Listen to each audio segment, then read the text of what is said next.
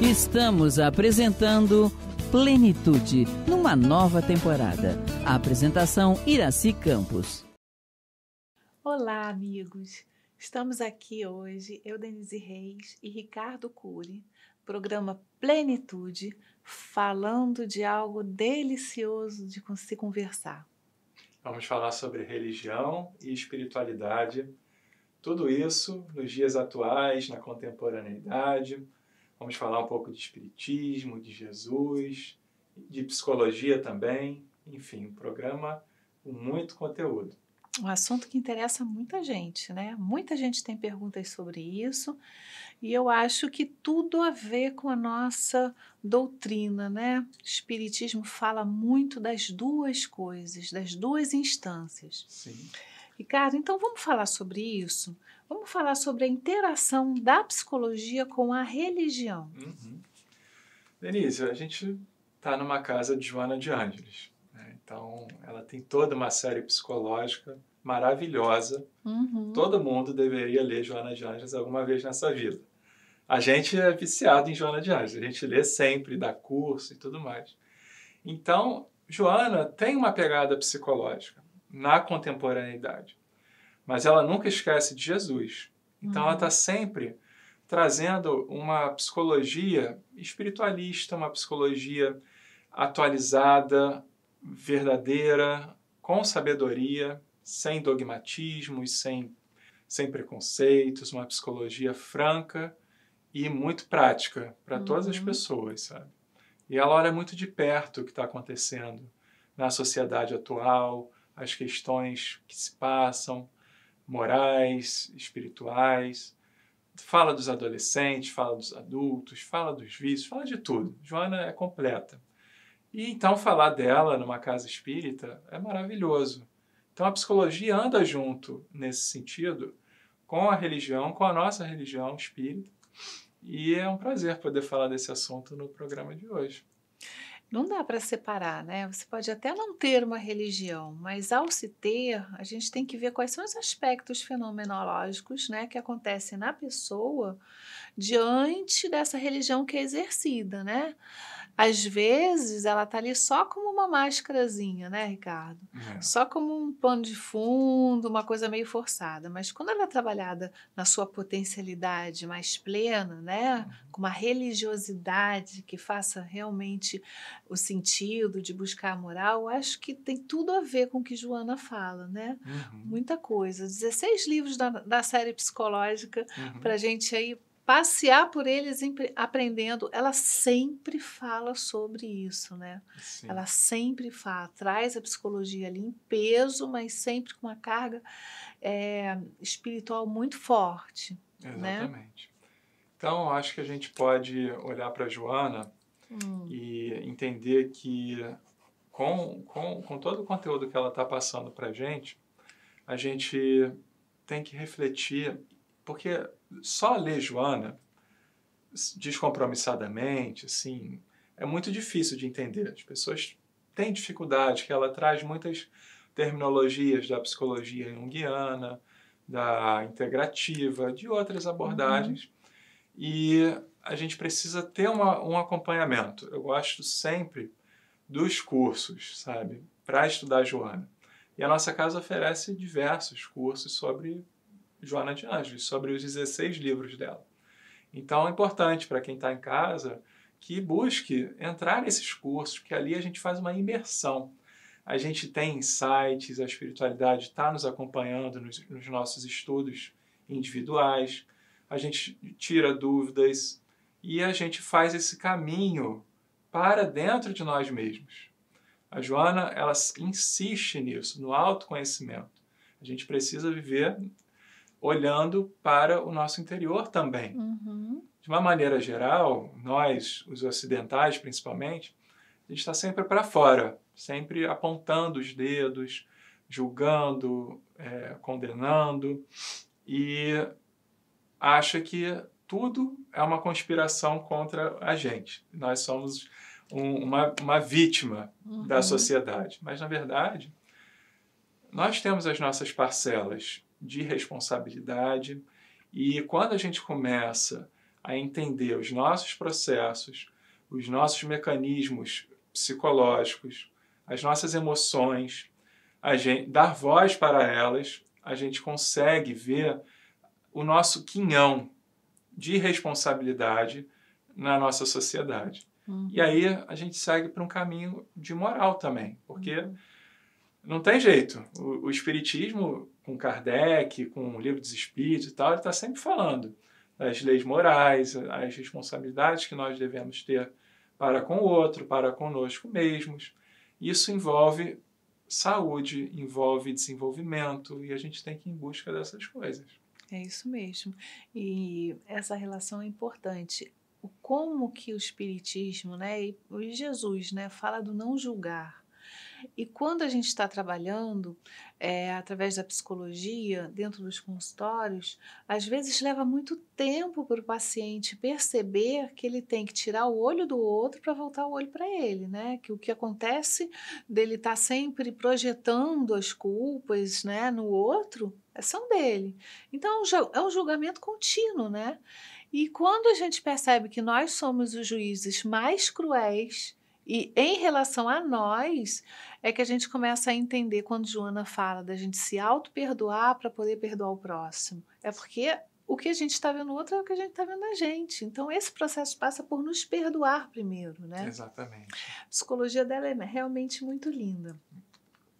Como a religião pode interferir positivamente em um tratamento psicológico? Olha, as religiões podem e devem ter um papel muito importante para a saúde do ser humano. Uhum. Não só a saúde é, física, também eles ajudam, dando orientação médica, indicando, auxiliando nesse sentido, mas uma, uma, um apoio psicológico, sabe? Ao mesmo tempo, é, ela pode também inverter isso, dependendo das religiões. A gente tem que sempre ver a seriedade das religiões que a gente está entrando sabe? Se a gente perceber que tem algum movimento é, muito dogmático, de você ter que fazer parte de algum sistema fechado, que você não tem acesso a determinadas informações, ou que tudo venha na base da, da cobrança, do dinheiro, da barganha, da troca, sabe?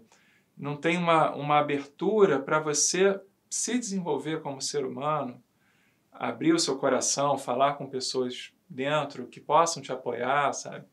A gente tem que repensar as nossas escolhas de religião.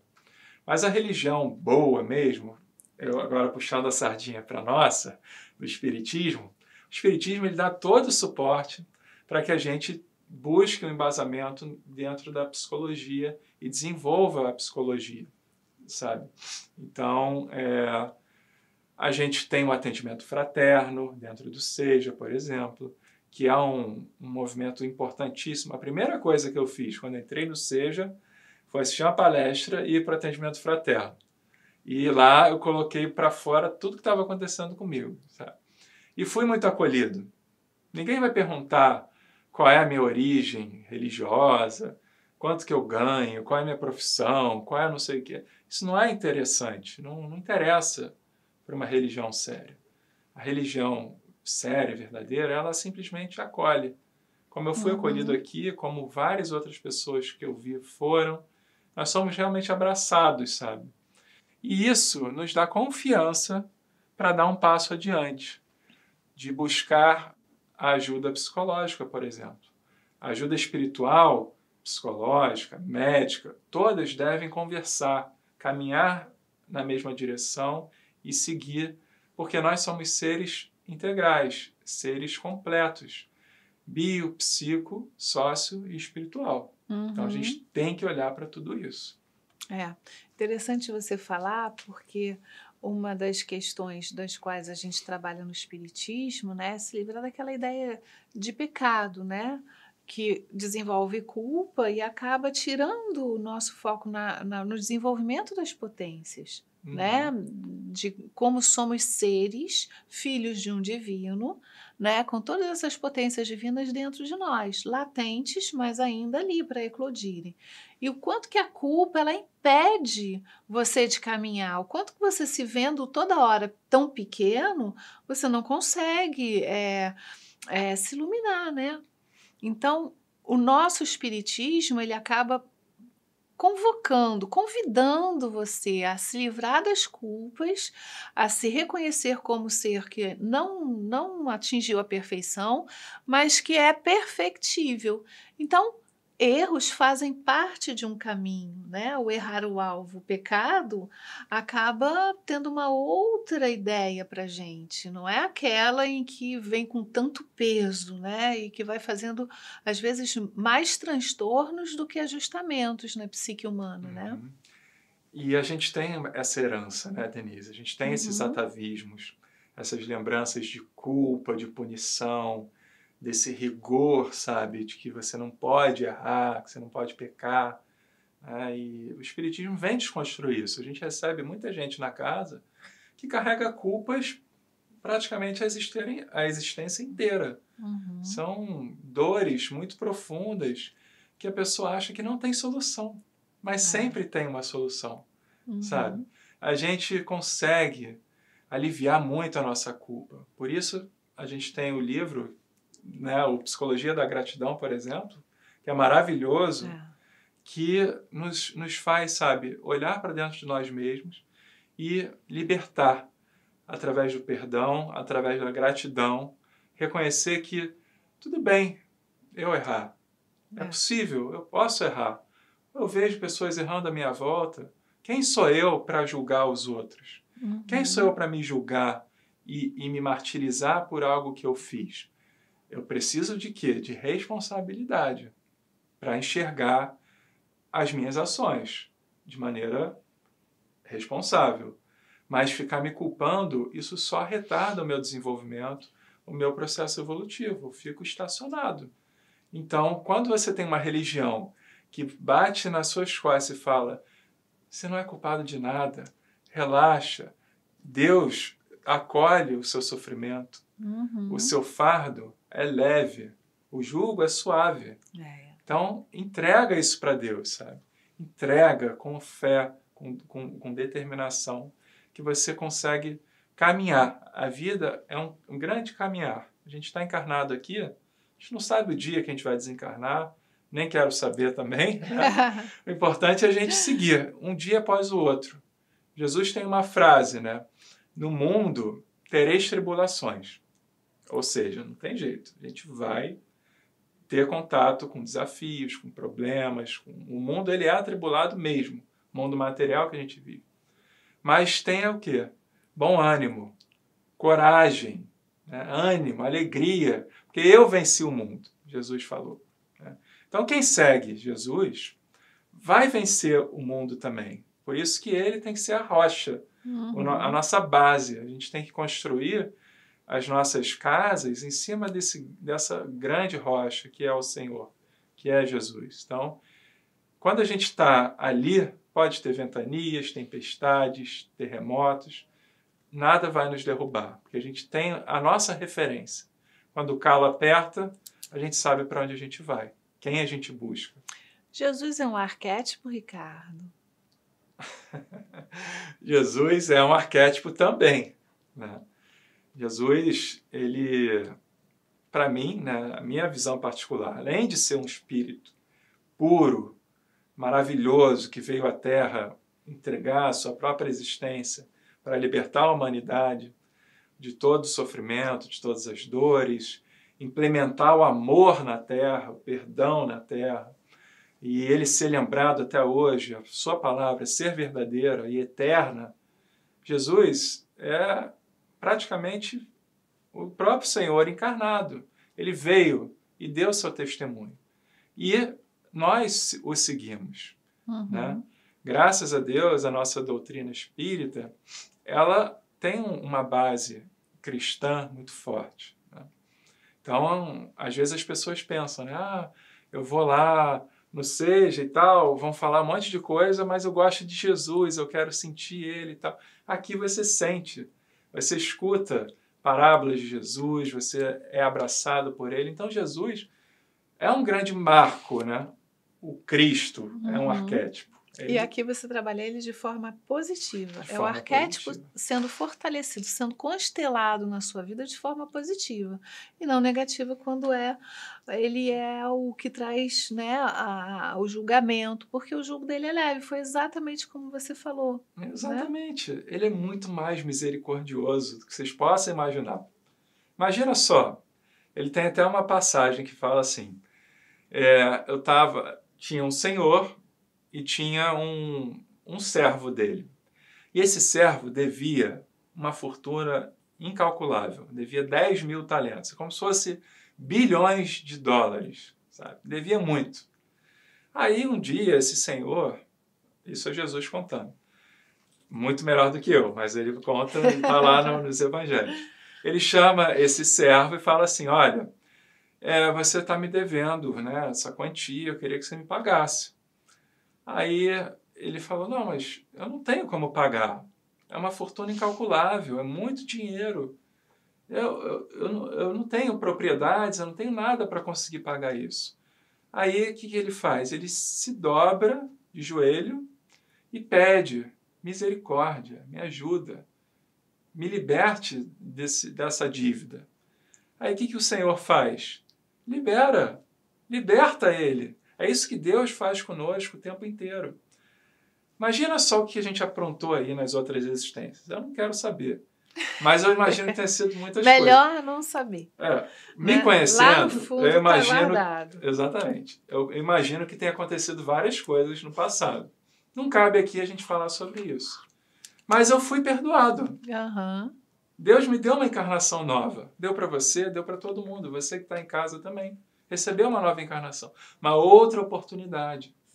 Mas aí, continuando aquela história, o que, que o servo fez?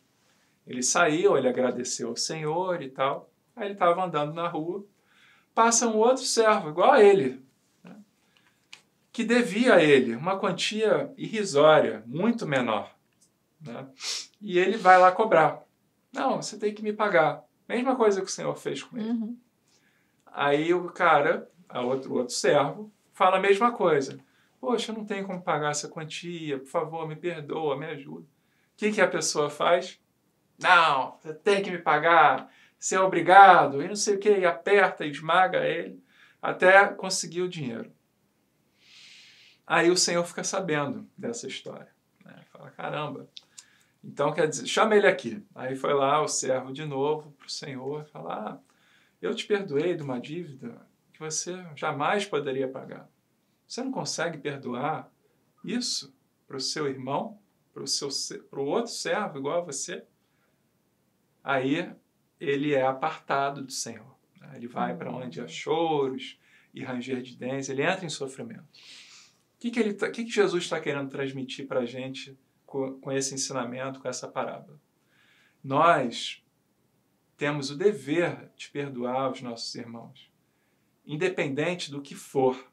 Se alguém chega para nós e pede perdão, pede ajuda, pede misericórdia, a gente tem o dever de dar. Porque Deus já nos perdoou lá atrás. Uhum. A gente já está perdoado no seio de Deus.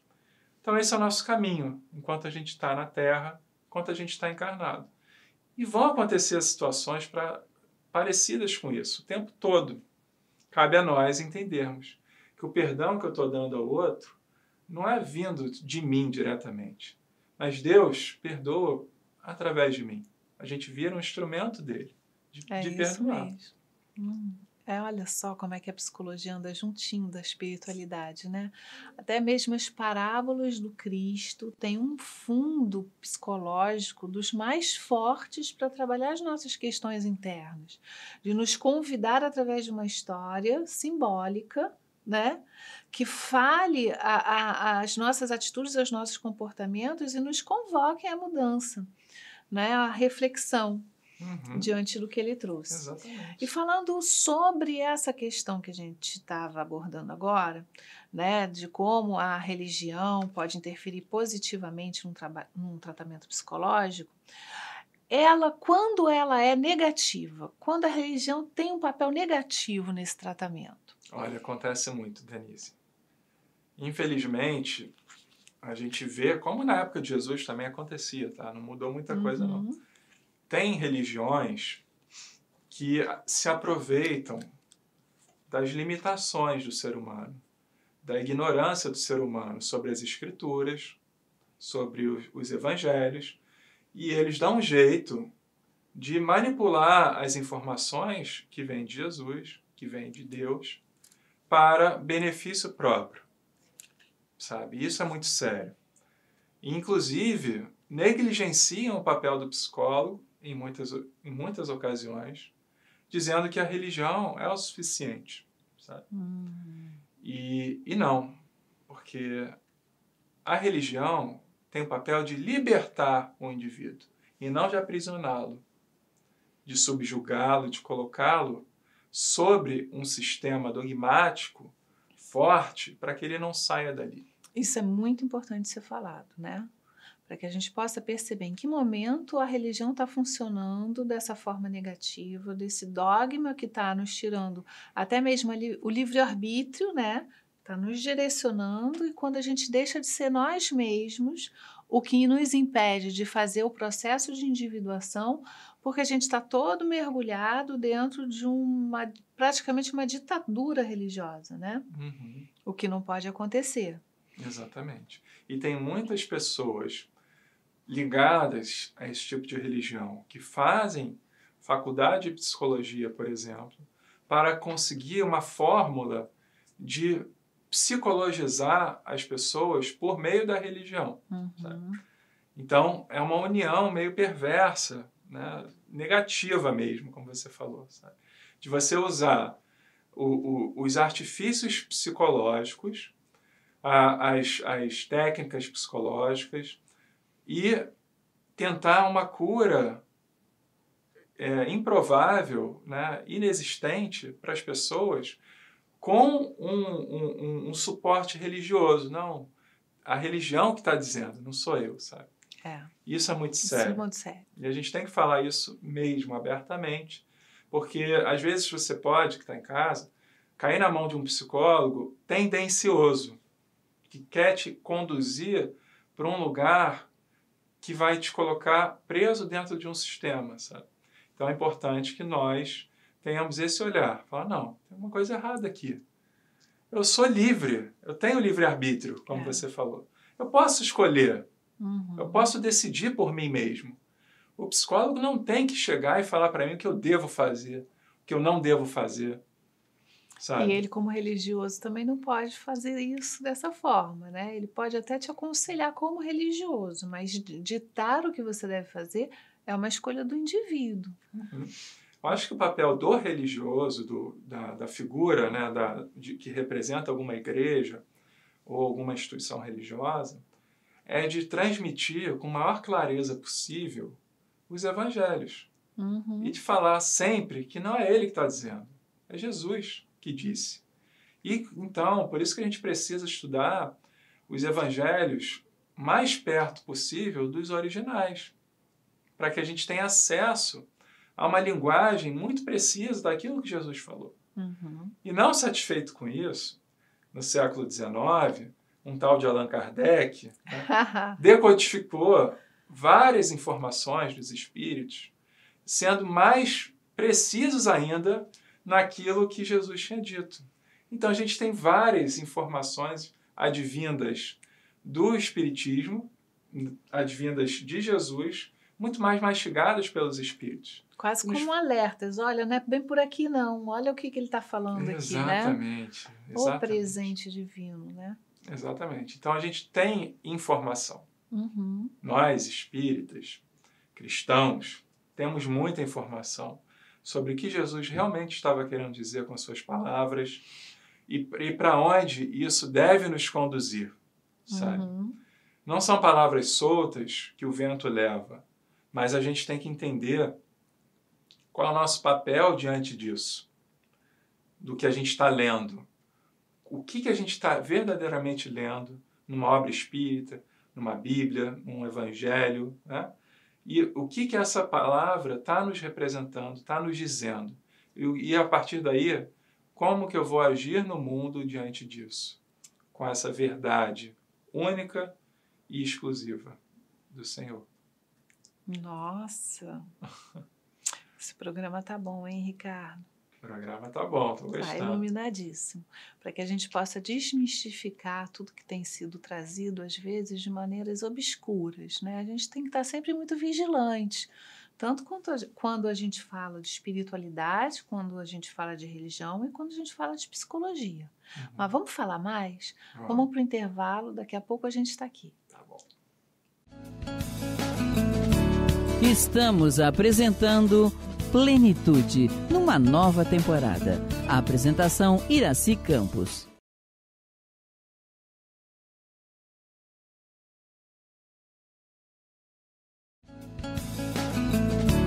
Estamos apresentando Plenitude numa nova temporada. A apresentação Iraci Campos. Oi, estamos de volta, queridos amigos, falando sobre psicologia e religião. Ricardo, mais uma pergunta para você. A psicologia hoje enxerga a espiritualidade como instância importante no seu campo de estudos? Com certeza. A, a psicologia, de uma maneira geral, ela, ela é sem nenhum vínculo religioso, sabe? E Isso é Uhum. importante ser preservado mesmo. Existe a psicologia e existem as religiões. Mas, de uma maneira bem interessante, como a medicina está fazendo, Uhum. a psicologia, ainda a passos lentos, mas existe esse movimento de a gente conhecer ou se aproximar da religião, da, não só da religião, mas da espiritualidade.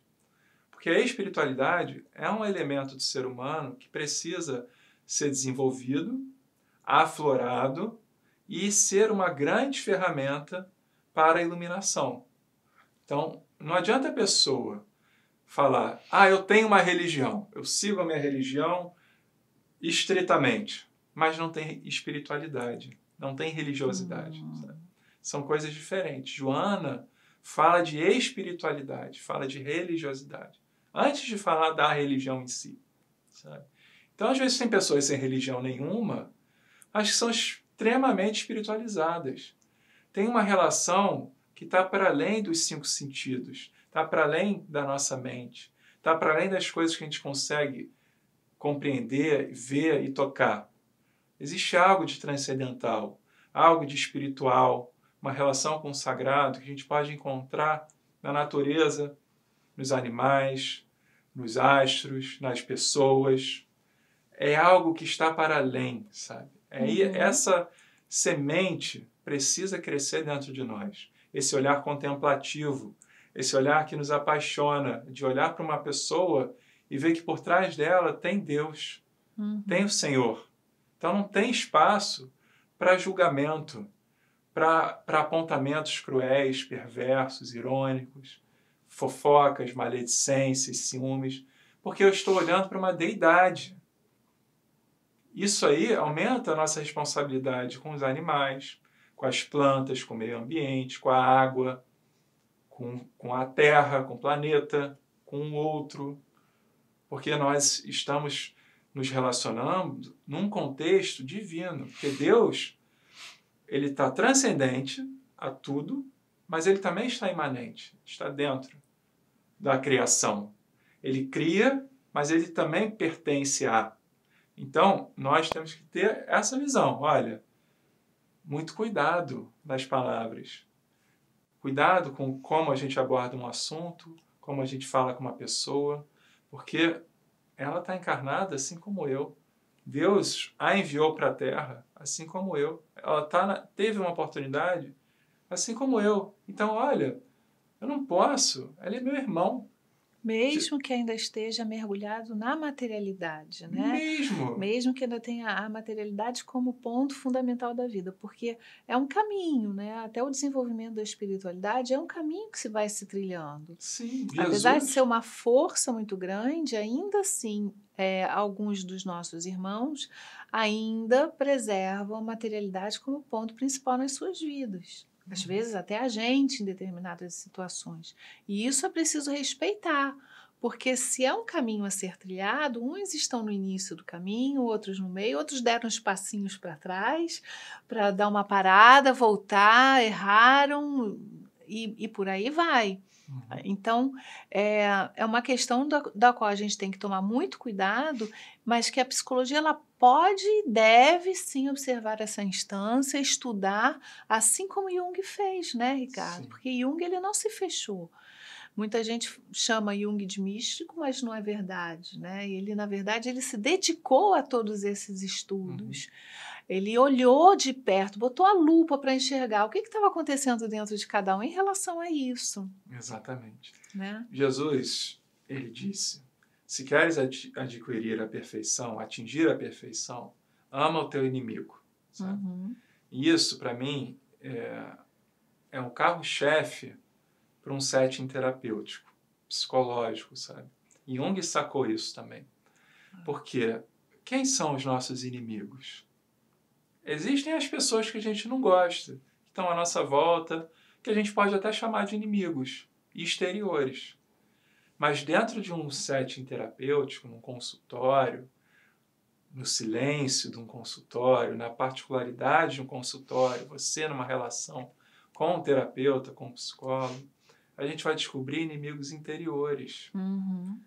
Que são as verdadeiras assombrações da nossa vida. As né? assombrações que a gente não quer ter contato, é. são os monstros que uhum. a gente uhum. não quer ver, mas eles convivem conosco. E quando a gente olha bem de pertinho, a gente vê que não são tão monstros assim. São, são, são particularidades nossas que precisam ser vistas, notadas e acolhidas e integradas na nossa psique sabe? Ama o teu inimigo, aquele que está dentro, né?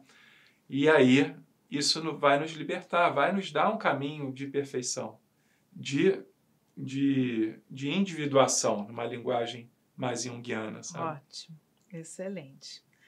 Como funciona a saúde quando se desenvolve a espiritualidade? A espiritualidade para mim, uma visão particular minha, é a cura. É a cura da alma. Então a saúde vai funcionar muito bem. Poxa, a pessoa vai ser muito saudável.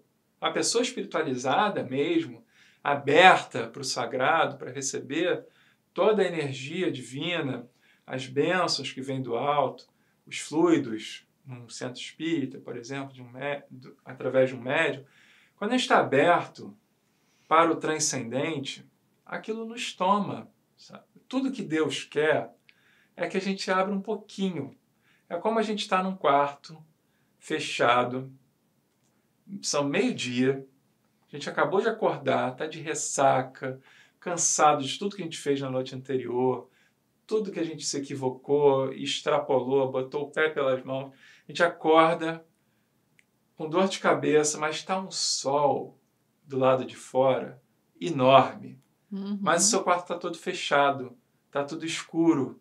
Mas você sabe que tem um sol lá fora, um verão de 40 graus no Rio de Janeiro. Aí a gente quer, a gente tem esse anseio por de buscar essa luz, né? por despertar. É. A maioria das pessoas estão ainda ali nesse sono profundo, ou estão acordando dentro desse quarto. Outros já despertaram no quarto e vão para a janela e abrem uma pequena frestinha. Aí, essa pequena frestinha ilumina o quarto inteiro. Você vê como Deus nos envolve com seu poder, com a sua força. Tudo que a gente precisa é dar esta abertura para que ele entre e nos inunde uhum. com o seu bálsamo sagrado e nos abençoe. É isso. Ah, me conta um pouco então do, do trabalho que o Seja fazia no Hospital Vitória. Você estava coordenando esse trabalho antes da pandemia, né? Sim, sim. É um trabalho muito enriquecedor. Uhum. Eu trabalhei lá no, no Hospital Vitória, no Samaritano, com uma equipe de médiums. A gente ia lá uma vez por semana, a gente fazia o evangelho num ambiente ecumênico que tinha no, no hospital. Tem outras religiões também que vão. Outras né? religiões também vão. Acho muito bacana o hospital dar essa oportunidade para as religiões. Então tinha os evangélicos, tinha os católicos e nós espíritas representando Uhum. o espiritismo. Cada dia seja, não era Cada uma. dia era um que ia lá. E aí, eu passei por várias situações muito curiosas quando eu ia nos leitos, sabe? Uhum. Porque às vezes você vai num leito de uma pessoa espírita que conhece a doutrina e tal, então tem uma troca muito mais tranquila, sabe? Ela entende o que é o passe, ela está acostumada. Muitas pessoas, até do SEJA, que se internavam lá, a gente ia e fazia esse acolhimento. Então, tudo bem. Hum. Mas tinham pessoas, Denise, que não tinham contato nenhum com espiritualidade, que não sabiam nada sobre espiritismo, sobre coisa alguma, e muito menos tinham relação com Deus ou tinham qualquer religião. Pessoas ateias estavam lá. E a gente ia. Aí eles ficavam meio cabreiros, assim, não, mas o que, que é isso? Queriam ficar de olho aberto para ver se o que, que a gente ia fazer e tal. Interessante que isso Então- não era imposto, né? Era perguntado se a pessoa queria. Então, Então, aí, aí surgia que eu vou a- a chegar. curiosidade. Aí que eu vou chegar, exatamente. Como é que a gente entrava na sala dessas pessoas? Sabe? Tem um movimento que nós, seres humanos, não conseguimos explicar, nós encarnados aqui. Mas a espiritualidade, ela vai dando um jeito. E quando você vê, a gente está entrando no quarto da pessoa certa na hora certa. Aham. Às vezes a pessoa negou Deus por 70 anos da vida dela, dizendo que não acreditava em nada, que isso tudo era besteira. Mas quando ela se viu deitada num leito, com seus batimentos cardíacos oscilando, com sua respiração limitada, enfraquecida, com dores no corpo, recebendo remédios, morfina, precisando de aparelho de oxigênio, e ela se vê naquela situação, ela olha para o céu e fala: Senhor, me ajuda, sabe? No final, Denise, o sofrimento ele nos ensina muito Uhum. a lembrar que Deus é o nosso Pai. Infelizmente, muitas pessoas só se recordam disso quando estão na beira do desencarne, na beira de abandonar esse corpo, sabe? Então, a gente chega num leito desse e aquela pessoa que você vê que tem um orgulho que está sendo quebrado naquele momento, de ela está tendo que se abrir e ela chora, é um choro engasgado por vários e vários anos, que ela não deixava sair por orgulho, Uma resistência, Uma resistência. muito forte de, de entrega. e ela se dobra naquele momento, Uhum. pede ajuda, sabe? E nós que estamos ali, a gente percebe uma presença espiritual muito forte, porque tudo que a espiritua- espiritualidade deseja é que essa ovelha perdida retorne para o rebanho. Na verdade, ela ficou anos da vida dela perdida. E naquele momento é uma grande festa. Os espíritos vão acolhê-la, seja para desencarnar, seja para continuar na existência, mas aquilo ali é uma virada na vida daquela pessoa. Então eu sempre falava com os médiuns que trabalhavam na nossa equipe que mais importante do que o passe era a abordagem, era como conversar com essas pessoas. Porque, e como e também a importância da, da, das orações naquele momento. Uhum. Porque a pessoa ali, ela está num momento de virada da vida dela, sabe? E às vezes ela se recupera e ela vai buscar um centro espírita, ela vai buscar uma religião, ela vai começar a se sensibilizar mais com a espiritualidade, ela vai se abrir para o sagrado. Então, esse trabalho de formiguinha que a gente fazia ali no hospital, entrando leito por leito, atendendo as pessoas, sabe? Eu via muitos tesouros sendo descobertos naquele momento. E como que é importante levar o alento para aqueles que estão nessa situação de fragilidade emocional, e aí entra a psicologia, né? Na hora que é, é justamente aonde que o corpo está se dobrando para algo que ele já não tem mais controle. Aquele controle que a gente precisa ter durante a vida, ali na hora a gente já não tem mais controle, a gente está entregue. Entregue na mão dos médicos, da medicação, e muitos que escolhem estar entregues na mão de Deus, Olha que coisa simbólica, né? Naquele momento se dobram diante da vida, eu já não posso mais. Então, a quem eu vou pedir? A quem eu vou recorrer naquele momento? E é ali que a psique faz um retorno a si mesmo, a rever todas as suas questões, a sua vida, a sua importância. É justamente nesse momento que a doença tem um papel importante a dor nos convoca a esse processo de transformação. Ela nos convida a olhar diferente para aquilo que a gente estava olhando de uma forma. Um exemplo disso é Paulo, né? Uhum. Que quando ele se dobra diante da doença, da cegueira, ele começa a enxergar a vida de forma diferente. Uhum. E a esse Senhor que ele negou durante toda a vida que a gente pode levar para esse lado também, né, Ricardo? Porque ele dá um exemplo de vida na hora dessa, desse momento de transformação, que é para a gente pensar sobre os nossos momentos de dores. O que, que os desafios nos convocam? Uhum. Isso é de uma riqueza psicológica incrível. Uhum. Se a gente for pensar como é que a gente vai funcionando, né, como crianças que vão aprendendo a andar e vão desbravando o caminho como se elas pudessem fazer tudo, de repente se cai e vem aquele choro engasgado, onde a mãe e o pai pegam a mãozinha, vamos levantar de novo e vamos continuar, porque você pode. Isso é de uma importância muito grande na nossa vida. Sim, sem dúvida. Só para a gente lembrar ainda do, do, do, hospital, me veio aqui na cabeça um, um episódio particular que aconteceu de uma, uma senhora, ela tinha uns 50 e poucos anos, e ela já estava, ela não tinha religião nenhuma, ela era ateu, médica, trabalhava na medicina e ela aceitou receber uma ajuda. Ela tinha um câncer, né? um câncer espalhado pelo corpo inteiro, hum. na verdade. E ela já estava há 10 anos tratando câncer. Era um, melhorava e vinha outro e melhorava.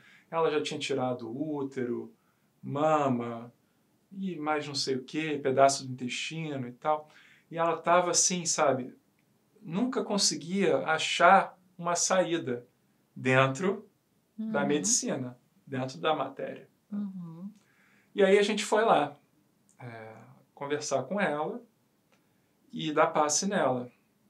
Depois que a gente saiu de lá, é, porque a gente volta toda semana. Então ela estaria lá na semana que vem, na semana seguinte. Ela falou quando a gente saiu de lá, ela ficou toda arrepiada, sabe? O corpo, da, do, da ponta dos dedos ao topo da cabeça, toda arrepiada. Ela sentiu uma presença muito forte, ela não sabia dizer quem era, mas ela deu uma descrição que parecia ser o Dr. Bezerra de Menezes. E ela é, teve uma melhora significativa no quadro dela, que aconteceu.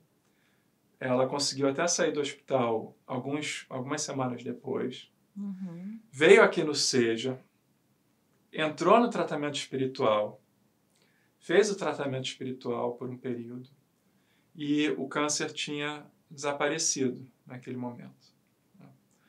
Aí, depois, é, piorou a situação quadro se agravou, tudo mais. Ela voltou para o hospital, mas como, como uma outra mulher, uhum. sabe? Com uma outra cabeça. Ela fez uma virada na mente dela. Ela foi cinquenta e tantos anos ateu, sem religião nenhuma, e a partir daí ela começou a acreditar na espiritualidade, acreditar em Deus, em Jesus. Ela foi para o hospital ela não voltou mais ela desencarnou. Uhum.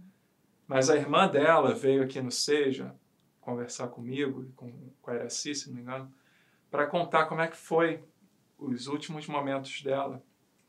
E ela e a irmã estavam cantando a oração de São Francisco. Ela no, nos braços da irmã. Ela sabia que ela ia desencarnar, ela já estava em cuidados paliativos. E aquilo foi lindo, assim, sabe? O desencarne dela foi maravilhoso, porque ela mudou a mente dela ainda na existência, aqui na carne. E aí depois, era se falou que ela iria vir trabalhar no seja no plano espiritual. espiritual. É. A gente pode até pensar que talvez isso tenha sido a cura da alma, Exatamente. apesar da do corpo já não ter acontecido, até porque não se precisava mais, mas foi uma cura da alma, né? Sim. Porque às vezes a gente, né, só quer curar o corpo e acha que o corpo tem que estar sempre bom e tudo mais. Mas existem vários tipos de desencarne, né? Então, se a gente desencarnar com uma mente espiritualizada, voltada para Deus, confiante do que vai acontecer após esse momento, esse desenlace, uhum. é totalmente diferente, sabe? Do que a gente desencarnar lutando para permanecer aqui minuto a minuto, sabe? Apegado à matéria, à família, ao dinheiro, à posse, às relações e tal. É totalmente diferente.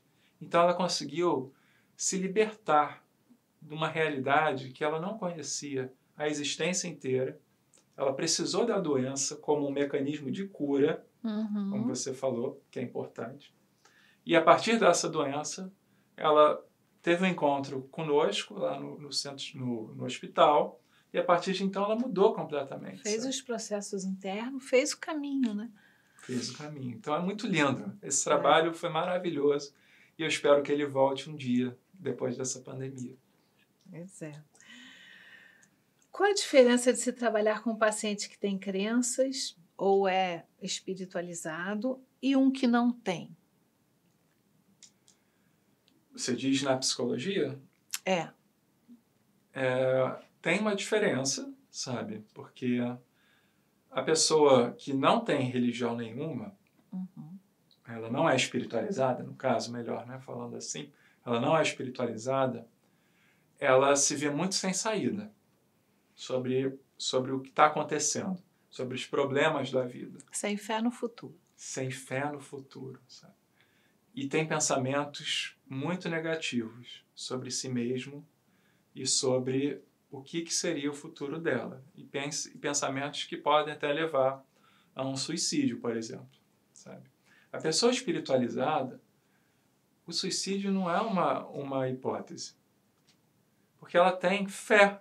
E a fé sustenta a existência dela. E ela consegue permanecer, sabe?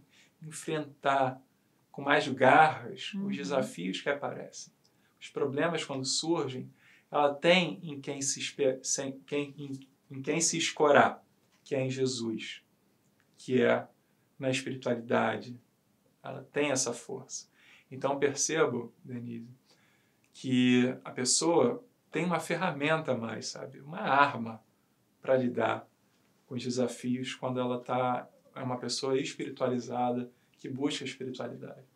Então é muito importante isso para a nossa existência, sabe? Uhum. A gente vive num, num mundo muito dinâmico, muito atribulado, muito movimentado, com muitas informações, com muitas notícias e tudo mais.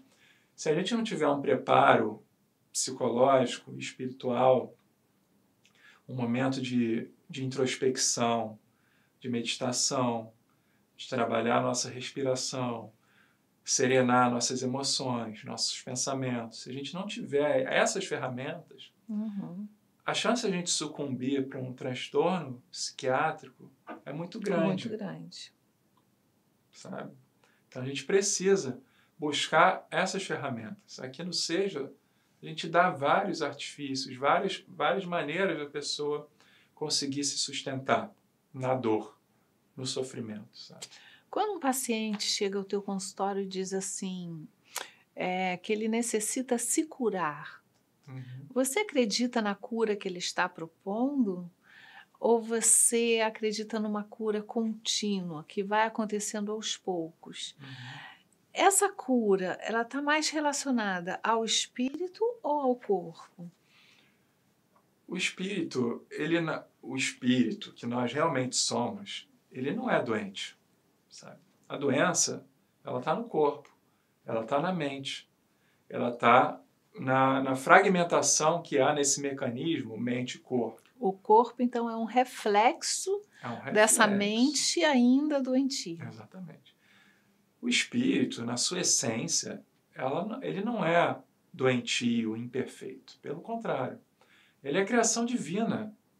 Ele é a pura perfeição, ele é belíssimo.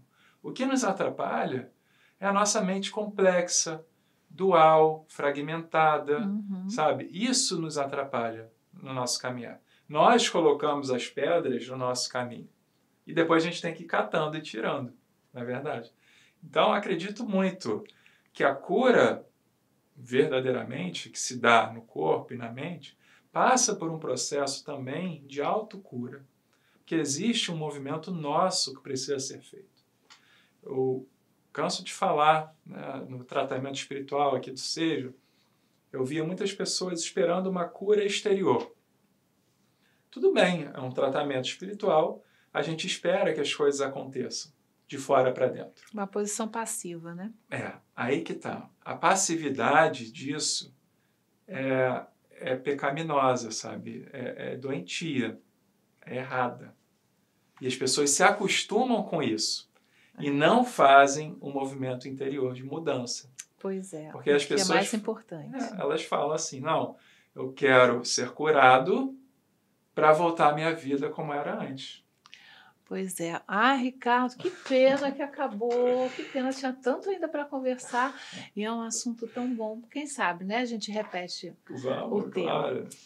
Então, ficamos por aqui, queridos. Programa Plenitude. Ricardo Cury falando sobre psicologia e espiritualidade. Foi um prazer enorme estar com vocês.